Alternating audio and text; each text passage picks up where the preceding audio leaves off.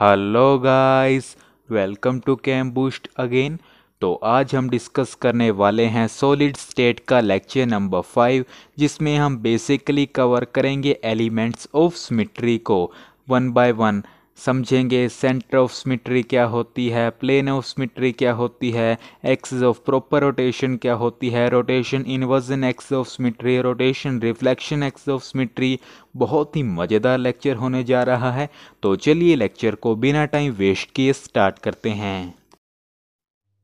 तो चलिए dear students इससे पहले कि हम हमारे मेन टॉपिक यानी एलिमेंट्स ऑफ़ स्मिट्री पर चलें, वहाँ पर स्मिट्री ऑपरेशंस ऑफ़ स्मिट्री जैसे वर्ड यूज़ हो रहे होंगे तो उनके बारे में नॉलेज होना आपके लिए ज़रूरी है। तो चलिए अंडरस्टैंड करते हैं। बेसिकली स्मिट्री हमारे पास इंटरफेशियल एंगल्स की तरह अनदर प्रॉपर्टी है क्रिस्टल की, और हम स्मिट्री को एक्सप्लेन करते हैं on the basis of elements of symmetry and symmetry operations. Symmetry operations को हम यहाँ समझेंगे और एलिमेंट्स ऑफ़ स्मिट्री को हम प्रिसीडिंग सेगमेंट्स में देखेंगे। तो आइए पहले रीड करते हैं, देन मैं आपको एक्सप्लेन करता हूँ। The symmetry operation like rotation, reflection, inversion etcetera is an operation performed around a line plane or a point on a body such that it brings the same or similar appearance of the body after the operation. यानी symmetric operation, वो operation जो हम perform करें around a line plane or a point on a body कुछ इस तरीके से कि ऑपरेशन के बाद हमारे पास सिमिलर अपीयरेंस अपीयर हो बॉडी की। यही बात हमने यहाँ समझाने की कोशिश की है। वो ऑपरेशन अब रोटेशन भी हो सकती है रिफ्लेक्शन भी हो सकती है इन्वर्जन भी हो सकती है। इन सभी टर्म्स से आप आने वाले सेगमेंट्स में बहुत ही फैमिलियर हो जाएँगे फॉर द टाइमिंग इतना समझे एग्ज़ाम्पल देखिए, अब देखिए, ये है हमारे पास कोई भी बॉडी जिस तरीके से हमने यहाँ बात की है performed around a line plane or a point on a body अब ये बॉडी है। अब हम जो सिमेट्री ऑपरेशन है, वो ले रहे हैं रोटेशन को। और वो कैरिड आउट हो रहा है अलोंग ए लाइन ये क्यूब है और ये कुछ इस तरीके से लाइन है। अब इसके अराउंड हमने सिमेट्री ऑपरेशन किया। सिमेट्री ऑपरेशन में स्पेसिफिक रोटेशन की थ्रू 90 डिग्री तो हमारे पास ऑपरेशन के बाद जो अपीयरेंस आई है, वो सिमिलर है कि नहीं डियर यही बात हमने यहाँ समझाने की कोशिश की है। इतना समझ लीजिए। आप इन बेसिक चीज़ों को नोट करें, फिर हम चलते हैं हमारे मेन टॉपिक की तरफ़। तो चलिए डियर स्टूडेंट्स सबसे पहले हम समझते हैं एलिमेंट्स ऑफ़ सिमेट्री में कि आखिर हमारे पास सिमेट्री एलिमेंट क्या होता है। ध्यान से सुनिएगा डियर अगर हम बात करें किसी भी क्रिस्टल में किसी ज्योमेट्रिकल एंटिटी की बोले तो प्लेन हो गया लाइन हो गया या कोई पॉइंट हो गया, जिसके रिस्पेक्ट में हम कोई स्मिट्री ऑपरेशन कैरिड आउट कर सकें, उसे हम बोलते हैं स्मिट्री एलिमेंट यही बात हमने आपको यहाँ लिखवाई है।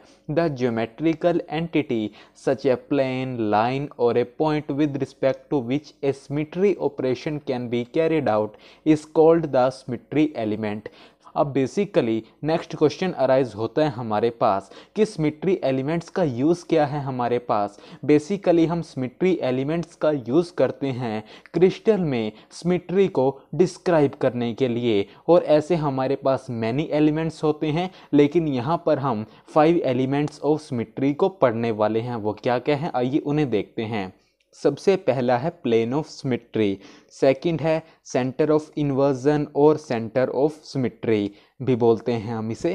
थर्ड है axis of proper rotation fourth है rotation reflection axis of symmetry इसी तरीके से फिफ्थ है हमारे पास rotation inversion axis of symmetry क्या होती है प्लेन ऑफ़ सिमेट्री क्या होती है सेंटर ऑफ़ सिमेट्री वो हम आने वाले सेगमेंट्स में बहुत ही अच्छे तरीके से देखने वाले हैं। आप ये बेसिक इन्फॉर्मेशन नोट कीजिए, फिर हम चलते हैं हमारे फाइव एलिमेंट्स ऑफ़ सिमेट्री पर वन बाय वन तो चलिए डियर स्टूडेंट्स सबसे पहले हम समझेंगे प्लेन ऑफ़ सिमिट्री को। आइए डेफिनेशन रीड करते हैं देन मैं आपको एक्सप्लेन करता हूँ। It is defined as an imaginary plane passing through the crystal such that it divides the crystal into two parts in such a way that one part is the mirror image of the other the plane of symmetry are therefore also called the mirror planes कि हमारे पास plane of symmetry is nothing but an imaginary plane जो crystal के through pass करता है और कुछ इस तरीके से पास करता है कि वो क्रिस्टल को टू पार्ट्स में डिवाइड करता है और जो दो डिवाइडेड पार्ट्स होते हैं, वो एक दूसरे के मिरर इमेज होते हैं। और इसी वजह से हम प्लेन ऑफ़ सिमेट्री को मिरर प्लेन्स भी बोल देते हैं। ये यहाँ पर डेट है, देन नहीं। तो ये थी हमारे पास प्लेन ऑफ़ सिमेट्री की बेसिक सी डेफिनेशन उसके बाद हम देखते हैं प्लेन ऑफ़ सिमेट्री के टाइप्स को। टाइप वन है रेक्टेंगुलर प्लेन्स ऑफ़ सिमेट्री क्या होती है रेक्टेंगुलर प्लेन ऑफ़ सिमेट्री आइए रीड करते हैं। These are the planes situated in the middle and parallel to the opposite faces. अब एज्यूम कीजिए हमारे पास एक क्यूब है।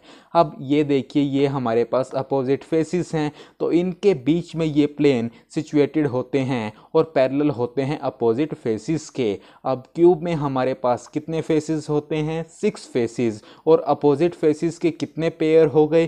थ्री पेयर किस तरीके से देखिए, एक ये आमने सामने वाला एक पेयर एक इधर वाला, एक उससे पीछे वाला दो पेयर एक ऊपर नीचे वाला, यानी तीन पेयर हो गए और हर एक पेयर के बीच में एक प्लेन एग्जिस्ट कर रहा है तो हमारे पास थ्री पेयर में कितने प्लेन्स होंगे? थ्री प्लेन्स एग्जिस्ट करेंगे, हमने लिखा है, थ्री सच प्लेन्स एग्जिस्ट यानी यहाँ पर हमारे पास थ्री आर पी एस है, यानी रेक्टेंगुलर प्लेन्स ऑफ़ स्मिट्री अब क्योंकि ये प्लेन्स जो हैं, ये मिडल और पैरेलल हैं अपोजिट फेसिस के, और हमारे पास जो ये प्लेन्स हैं, इनकी शेप रेक्टेंगुलर है, इसी वजह से हम इन्हें रेक्टेंगुलर प्लेन्स ऑफ़ सिमेट्री भी बोल देते हैं। टाइप टू है हमारे पास dear diagonal planes of symmetry. ये समझ आ गया, ये भी इजीली आ जाएगा। These are the planes touching the opposite edges opposite edges यहाँ पर इंपॉर्टेंट वर्ड है कि ये जो प्लेन्स हैं, ये अपोजिट एजिज को टच करते हैं। अब ये अलोंग डायगनल लाई कर रहे हैं तो इन्हें हम डायगनल प्लेन्स ऑफ़ सिमेट्री भी बोलते हैं। क्यूब के केस में हमारे पास ट्वेल्व एजिज होते हैं, यानी अपोजिट एजिज के कितने पेयर हो गए? सिक्स पेयर तो इसी तरीके से हमारे पास सिक्स सच प्लेन एग्जिस्ट यानी यहाँ पर सिक्स डीपीएस हो जाएगी। होपफुली क्लियर हुआ होगा आपको what is plane of symmetry repeat कर लेते हैं। Plane of symmetry is nothing but एक इमेजिनरी प्लेन है जो क्रिस्टल से पास करता है कुछ इस तरीके से कि जो डिवाइडेड पार्ट्स हैं वो एक दूसरे के मिरर इमेजेस हो जाते हैं और इन्हें हम मिरर प्लेन्स भी बोलते हैं। उसके बाद हमने इसके टाइप को समझा। एक होता है रेक्टेंगुलर प्लेन्स ऑफ़ सिमेट्री एक होता है डायगनल प्लेन्स ऑफ़ सिमेट्री उसका भी हमने बेसिक इंट्रोडक्शन लेने की कोशिश की कि किस तरीके से यहाँ पर थ्री प्लेन्स एग्जिस्ट करते हैं और यहाँ पर सिक्स प्लेन्स एग्जिस्ट करते हैं। थ्री में विजुलाइज करेंगे तो थोड़ा और पिक्चर क्लियर होगा। तो आप इसे नोट कीजिए, फिर हम चलते हैं हमारी नेक्स्ट एलिमेंट ऑफ़ सिमेट्री पर। तो चलिए डियर स्टूडेंट्स अब हम अंडरस्टैंड करेंगे सेंटर ऑफ़ सिमेट्री को। आइए समझते हैं। Centre of symmetry basically dear हमारे पास एक इमेजिनरी पॉइंट होता है विद इन द क्रिस्टल कुछ इस तरीके से अगर हम कोई लाइन उस पॉइंट से पास करवाएँ तो वो क्रिस्टल के अपोजिट फेसिस को इंटरसेक्ट करेगी इक्वल डिस्टेंसेस पर। यही बात हमने यहाँ लिखी है। It is defined as an imaginary point within the crystal such that any line passing through the point intersects the opposite face of the crystal at equal distances example से समझिए अब मान लीजिए ये हमारे पास वो इमेजिनरी पॉइंट है अब अगर इससे हम कोई लाइन पास करवाएँगे तो देखिए ये अपोजिट फेसिस को इंटरसेक्ट कर रही है और इक्वल डिस्टेंसेस पर ये इंटरसेक्ट करेगी इसी तरीके से यहाँ पर भी हर एक अपोजिट फेसिस को इंटरसेक्ट करेगी एट इक्वल डिस्टेंसेस इसे हम सेंटर ऑफ़ इन्वर्जन भी बोलते हैं। क्यों बोलते हैं सेंटर ऑफ़ इन्वर्जन उसका रीज़न जानिए। देखिए बेसिकली हमारे पास अगर हम क्रिस्टल या मॉलिक्यूल को इन्वर्ट करें through the centre of symmetry I repeat अगर हम क्रिस्टल और मोलिक्यूल को इन्वर्ट करें through the centre of symmetry तो हमारे पास इक्विवेलेंट रिज़ल्ट मिलता है टू द ओरिजिनल इसका मतलब हमारे पास जब हमने इन्वर्ट किया और हमारे पास जो ओरिजिनल था, उसमें से हमें अगर डिस्टिंग्विश करना हो तो हम नहीं कर पाएँगे। यही बात हमने यहाँ लिखी है। It is also called center of inversion because if the crystal or molecule is inverted through the center of symmetry, it gives result equivalent to the original and hence distinguishable from the original one. Indistinguishable लिखिएगा यहाँ पर indistinguishable from the original one क्योंकि देखिए हमारे पास ये देखिए, अगर ये वो पॉइंट है, यानी जो इमेजिनरी पॉइंट है सेंटर ऑफ़ सिमेट्री अगर इसके थ्रू हम मॉलिक्यूल को इन्वर्ट करेंगे तो हमारे पास जो रिज़ल्ट होगा, वो कुछ इसी तरीके से होगा। यानी हम ओरिजिनल वन से डिस्टिंग्विश कर ही नहीं सकते। इसलिए हमने इसको सेंटर ऑफ़ इन्वर्जन बोला। तो ये तो कहानी थी सेंटर ऑफ़ सिमिट्री और सेंटर ऑफ़ इन्वर्जन की। तो आप इसे नोट कीजिए, फिर हम चलते हैं नेक्स्ट एलिमेंट ऑफ़ सिमिट्री पर।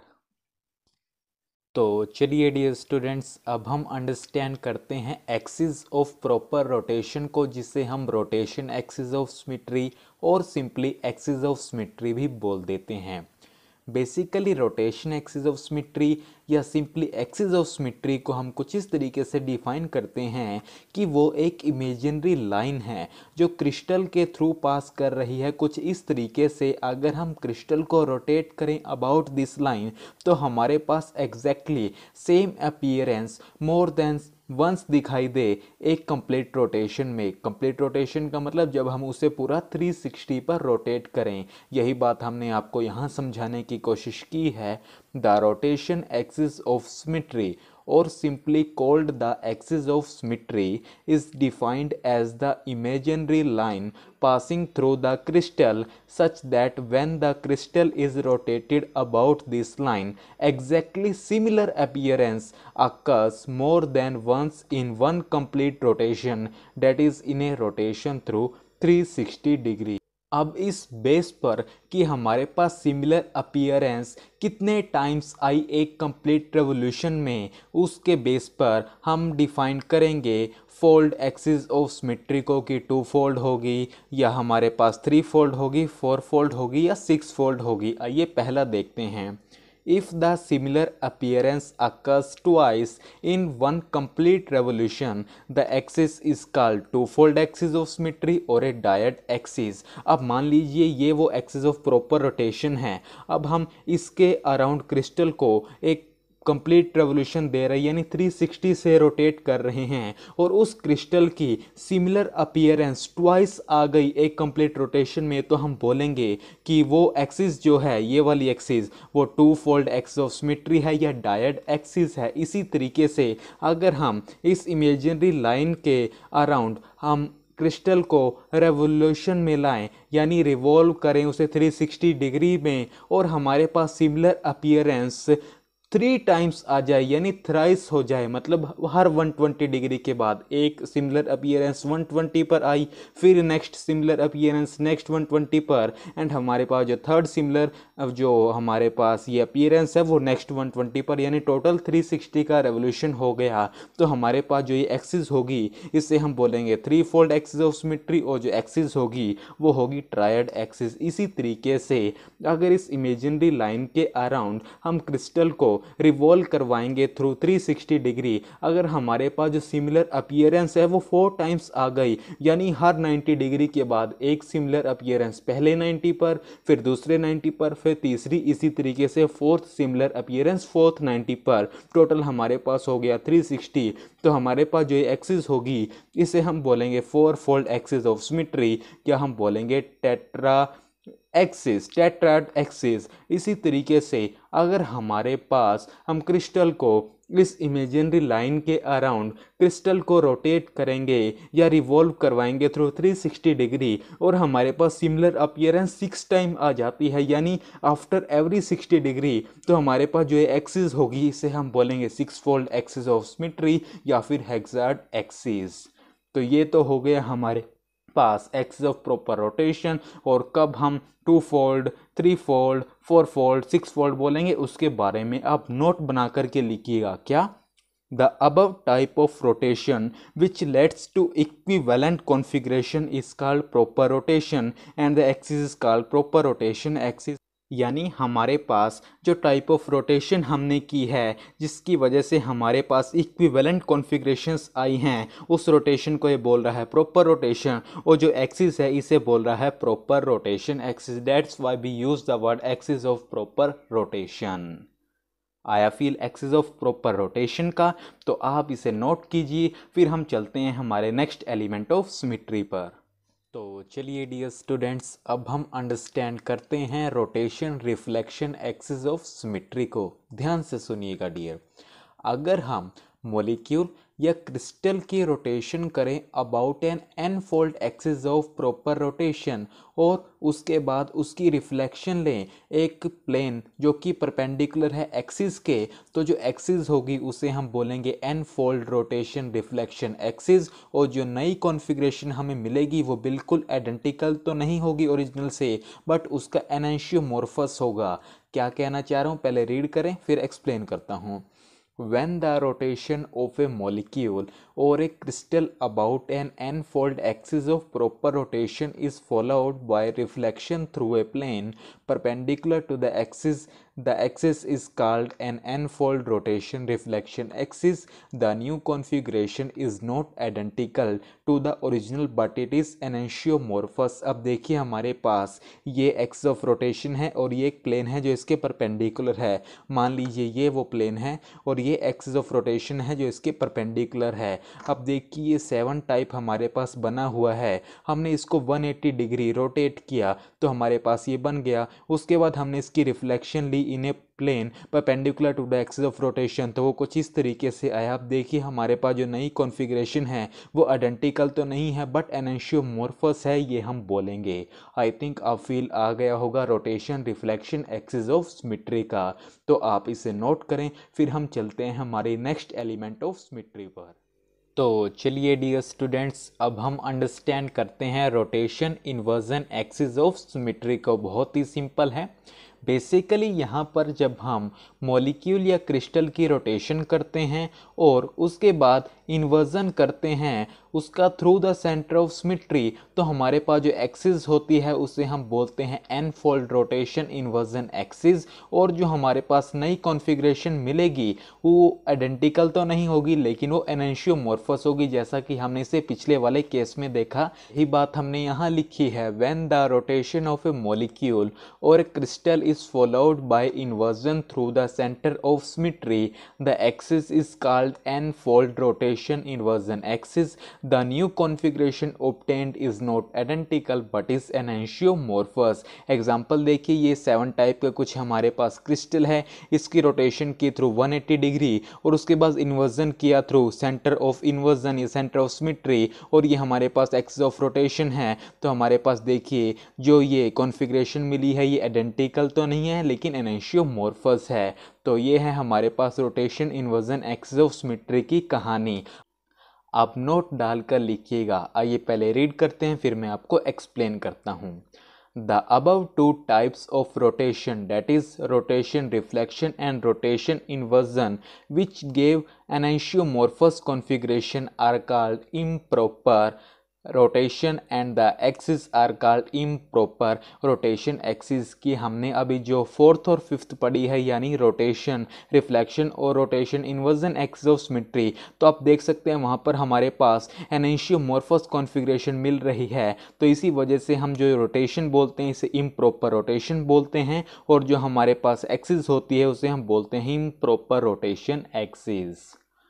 तो it is all about elements of symmetry एक बार समराइज करते हैं पूरे लेक्चर को कि हमने क्या क्या। किया सबसे पहले हमने समझा कि आखिर एलिमेंट्स ऑफ़ सिमिट्री क्या होते हैं? देन हमने देखा कि हमारे पास, हम इस लेक्चर में five types of elements of symmetry पढ़ने वाले हैं, जिनमें सबसे पहले हमने प्लेन ऑफ़ स्मिट्री देखा देन हमने देखा सेंटर ऑफ़ स्मिट्री को देन हमने देखा एक्सिस ऑफ़ रोटेशन को देन हमने देखा rotation reflection axis of symmetry को, उसके बाद हमने अब पढ़ा rotation inversion axis of symmetry को। होपफुली लेक्चर्स आपके लिए काफ़ी बेनिफिशियल हो रहे होंगे। आप अपनी फीडबैक हमें कमेंट सेक्शन में ज़रूर दें और इन लेक्चर्स को अपने फ्रेंड्स के साथ ज़रूर शेयर करें ताकि उन्हें भी इन लेक्चर्स का बेनिफिट मिल सके। तो चलिए till next video keep learning keep growing